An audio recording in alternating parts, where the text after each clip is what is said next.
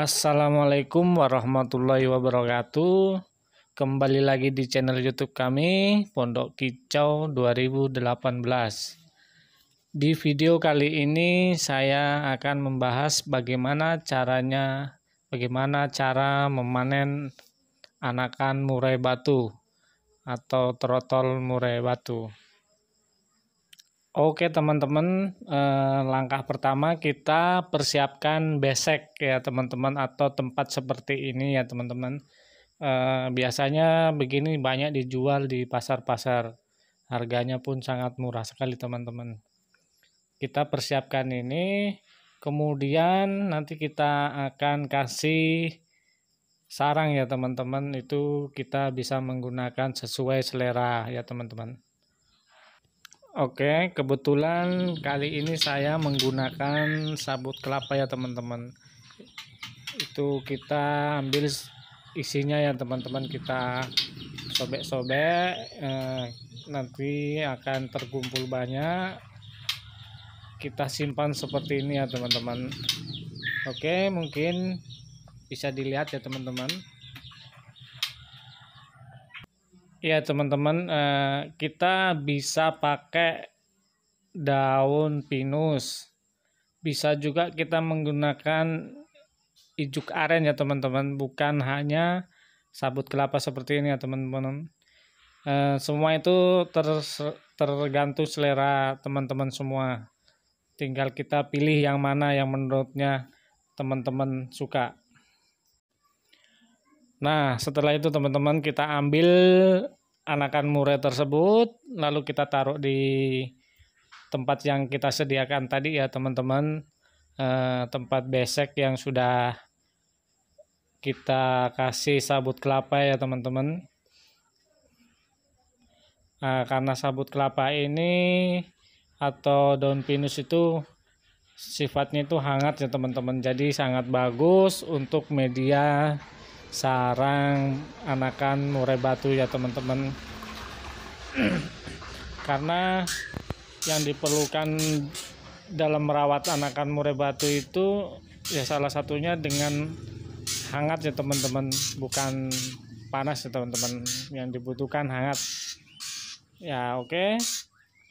setelah sudah diambil seperti ini uh, tentunya kita bawa keluar ya teman-teman dari kandang penangkaran. Nah, kita bawa kita bawa ya teman-teman. Kita bawa keluar. Oke kita bawa keluar. Ya teman-teman ya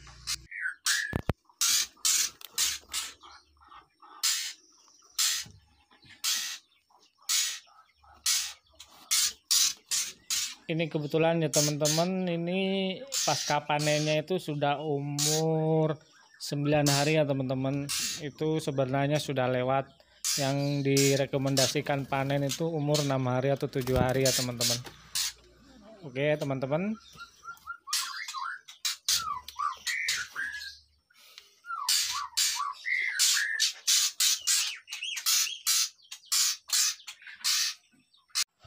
setelah kita bawa keluar dari kandang penangkaran teman-teman kita tutup seperti ini ya teman-teman ya.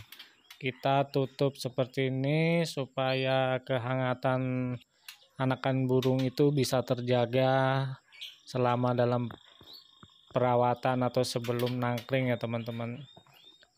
Ini gunanya untuk penghangat ya teman-teman. Uh, kita nggak usah pakai lampu karena biasanya lampu itu berpengaruh pada mata anakan murai ya teman-teman. Yang berakibatkan biasanya itu mengalami katarak ya teman-teman.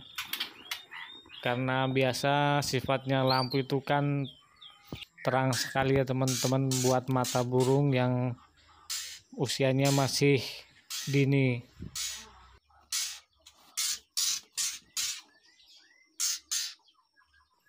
nanti di video berikutnya saya akan upload lagi video atau cara meloloh atau merawat anakan murai batu.